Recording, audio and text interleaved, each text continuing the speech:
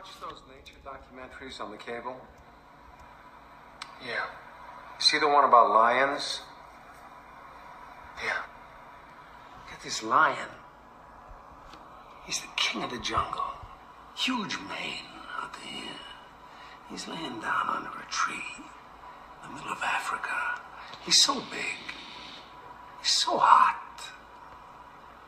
He doesn't want to move. Now, the little lion comes. They start messing with him. Biting his tail, biting his ears. You know, it's a man's league, and I guess his feelings just got hurt. He doesn't do anything.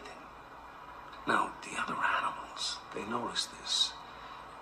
And they start to move in. The jackals, hyenas, they're barking at him, laughing at him. They nip his toes and eat the food that's in his domain. They do this, and they get closer and closer and bolder and bolder, till one day, that lion gets up and tears the shit out of everybody. Runs like the wind. Eats everything in his path. Because every once in a while, the lion has to show the jackals